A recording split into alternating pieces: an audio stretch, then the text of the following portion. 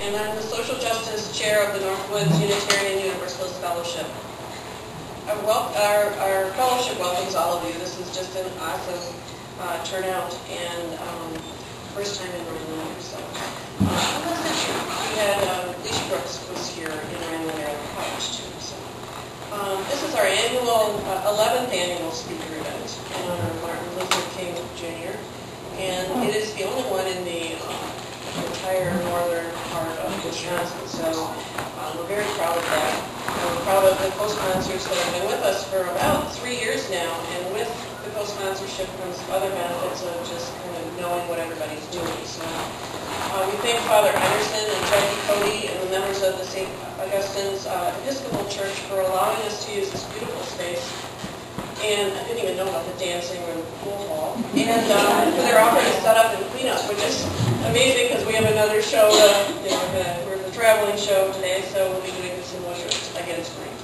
So traditionally, we've only had the evening event, and by providing a daytime option, we're hoping, I, I think that we've already decided that this is worthy to have it here because it's really hard on a January night to come up to Woodville. So we've, um, sometimes we've taxed our, all of our Rhinelander friends to coming up and, and um, appreciate the support, but I'm always a lot more comfortable having them here and not having to worry about them on the road, so.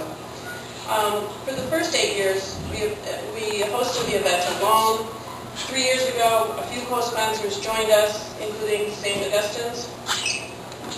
And now it- it's it's grown to be St. Augustine's, uh, St. Francis Project of St. Matthias Episcopal Church in Minocqua, Many Ways of Peace in Eagle River, League of Women Voters of the Northwoods, American Association of University Women Rhinelander, Northwoods Branch, the Congregational United Church of Christ in Rhinelander, and North Central Labor Coalition. So we we really have grown quite a bit, and very proud of that, and we're hoping to get bigger all the time. We might have to start our own building or something.